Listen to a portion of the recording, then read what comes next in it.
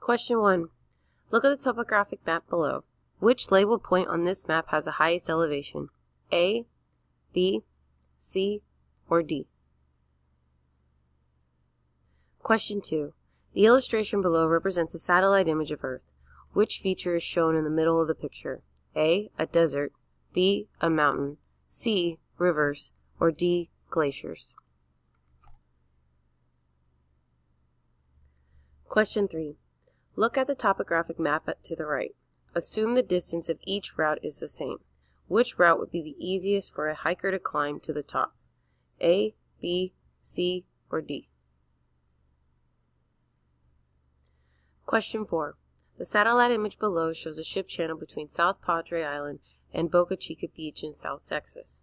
Sand is sometimes removed from the ship channel through a process called dredging to make it easier for ships to travel through. Recently, sand from the bottom of the channel was moved to area beaches. Without this transfer of sand, what would most likely occur in this area in the future? A. The ship channel would become deeper and the island would move west toward the mainland. B the ship channel would become shallower and the beach would become narrow, narrower. C. The ship channel would narrow and the island would become completely covered with water. Or D. The ship channel would become wider and the island would sink into, sink into the Gulf. Question. The points labeled W and Y on the topographic map below show the campsites of two families. Each family hiked the elevation on the map marked X.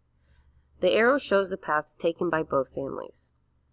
What was the change in elevation to the nearest 10 meters for the family that took the steepest path to point X? Record your answer and fill in the bubbles on your answered document. Be sure to use the correct place value.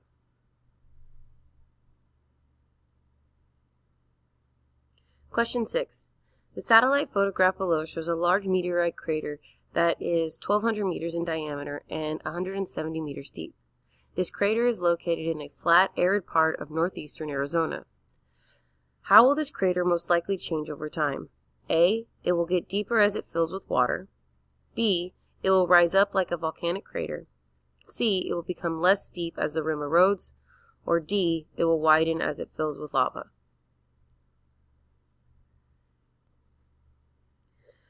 Question 7. A section of a topographic map is shown below.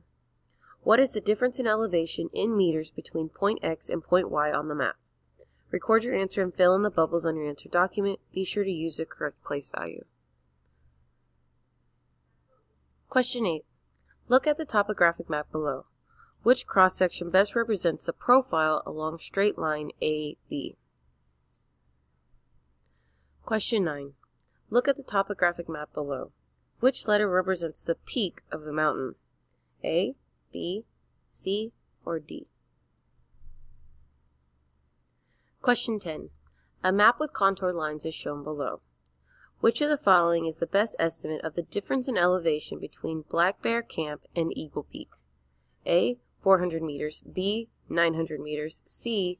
1200 meters, or D. 1500 meters?